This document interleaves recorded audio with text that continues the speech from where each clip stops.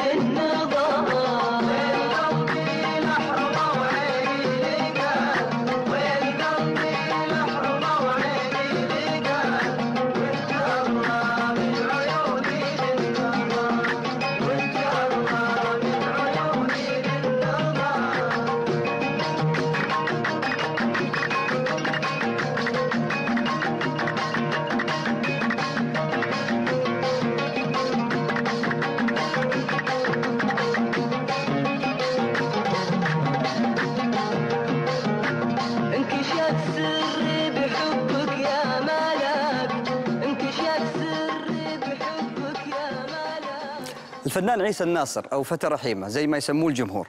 شاركنا بمقطع فيديو آه، يروي فيه قصة بدايته من المسرح آه، أيام المدرسة وعن سبب غيابه في الساحة الفنية حاليا. نشوف الفيديو. يسعد مساكم إذا الدنيا مساء ويسعد صباحكم إذا الدنيا صباح. كثير ما أسأل عن آه، البدايات. باختصار شديد البدايات من أيام الطفولة ووقتها كنت أنا المسؤول عن المسرح. في المدرسة وكانت تجينا الإمدادات من ناحية الآلات الموسيقية من قبل الوزارة. آه، اختلاف ال- ال- ال- الفن من ذيك الفترة إلى الفترة الحالية أن في ذيك الفترة ما كانت تخدمنا وسائل إعلامية لا إذاعة لا تلفزيون لا social media ولا صحافة ومع هذا بفضل آه، هالكلام الحلو اللي كنا نقدمه وتكاتفنا مع بعض الشعراء ال- الحلوين قدرنا نوصل إلى قلوب الكثير. أما الآن الوضع مختلف تماما من خلال أغنية وقد تكون طقطوقة لا كلمة ولا لحن. وممكن يكون موضوع أي كلام ويوصل من خلال النجم للعالمية وصارت.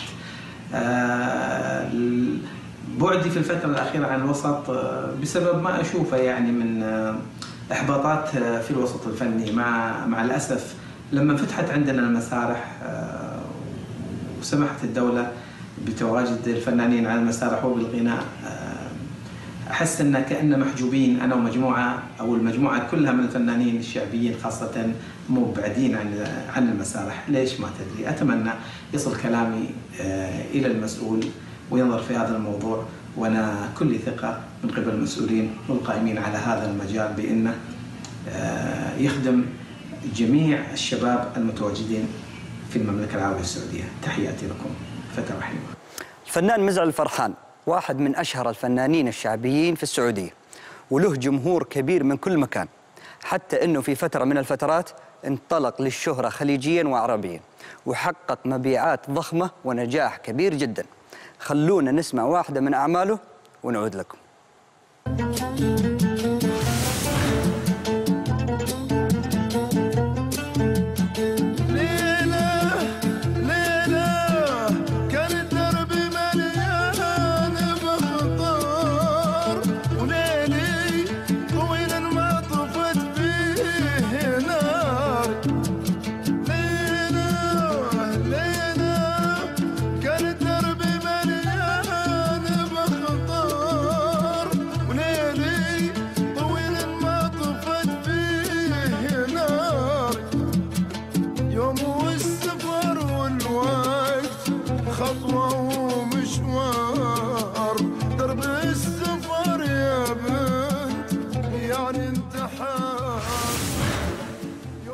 الفنان مزعل الفرحان تكلم معنا عن بداياته كيف كانت؟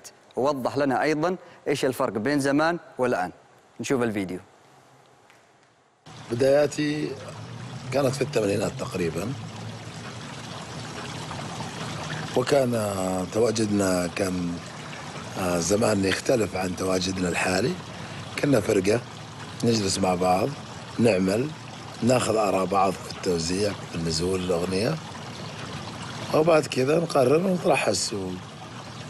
إنما اللي نتكلم عنه نتكلم عنه أو تكلمني عنه الآن يختلف عن زمان لأنه الآن نخش الاستوديو نركب ال- العود والايقاعات وال- والكورال وكله وبعدين يجي الفنان في الآخر يركب الصوت. ففي اختلاف عن الأول. وبالنسبة لعدم آه، لسؤالك اللي أنت تقول عدم تواجدي يعني عن عن ما كنت بعمل زمان. طبعا بيكون صعب الفرقة إنه بيصرف عليها فنان 40000 50000 وما لها مردود ولا لها متعهد في السوق. فأنا اضطريت إني أصرف على أغنيتين أسير الدرب وجيت الوادي. موسيقى قاهرة صرفت عليها ونزلتها طبعا للسوق على اليوتيوب على قناتي الخاصة قناة مزع الفرحة الخاصة. والحمد لله لقت نور وتوفقت وكل حب رضا جمهوري فقط الفنان سعد جمعة اشتهر وانتشرت أعماله بشكل كبير جدا في فترة من الفترات وكان من صباه وهو محب للفن وتعلم عزف العود والإيقاع وهو صغير في السن. له كثير من الأغاني لين الآن الجمهور يتذكرها ويغنيها. اخترنا لكم واحد من أغانيه الشهيرة عشان نسمعها سوا. نتابع.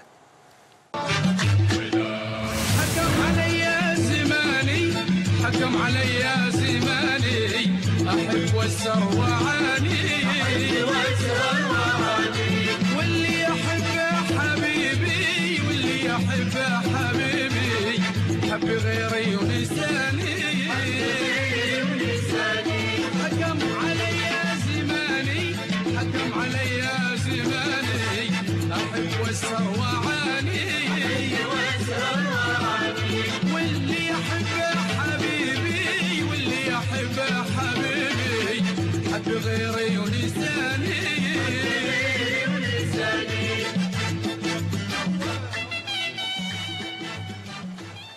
الفنان سعد جمعة وضح لنا بمقطع فيديو إذا هو موجود على الساحة الفنية حتى الآن أو لا.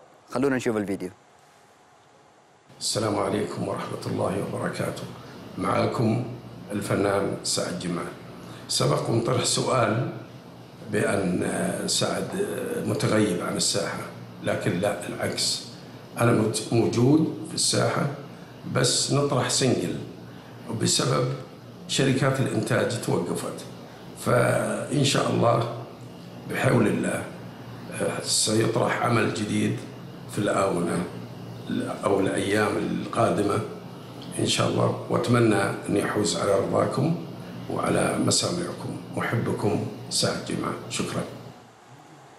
هذه المرة مع فنان من الكويت. بدأ حياته لاعب كرة يد ولكنه ترك الرياضة لحبه الشديد للفن.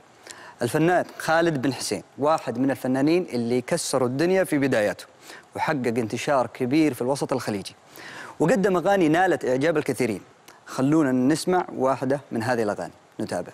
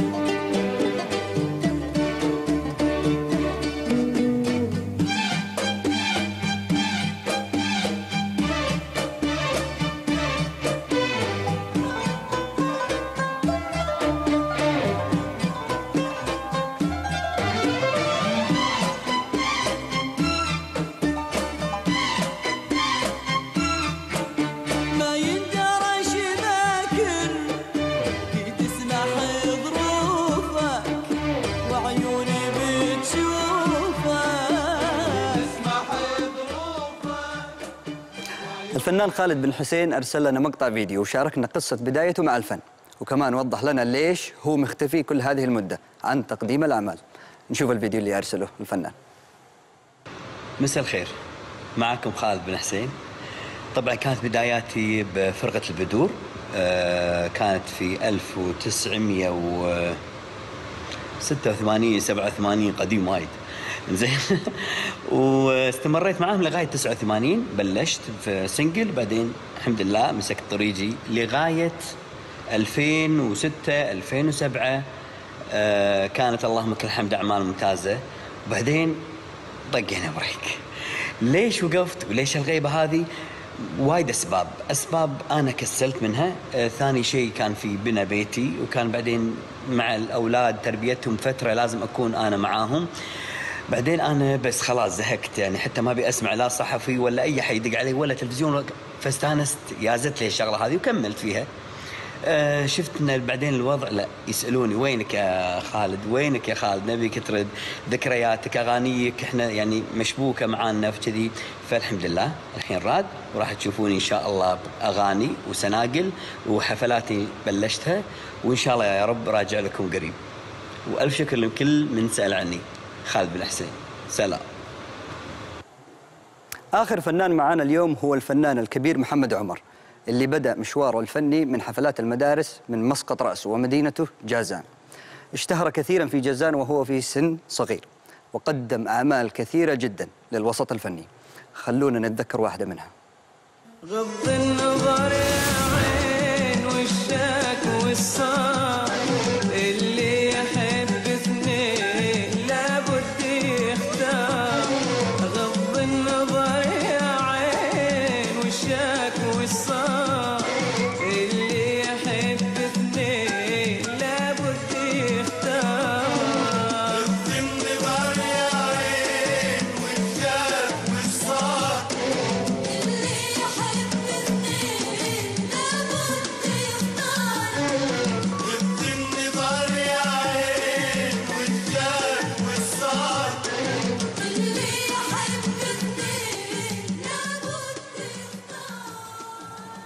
الفنان محمد عمر حدثنا عن بداياته في الفن وذكر, لنا سبب انقطاعه عن الفن في فترة من الفترات.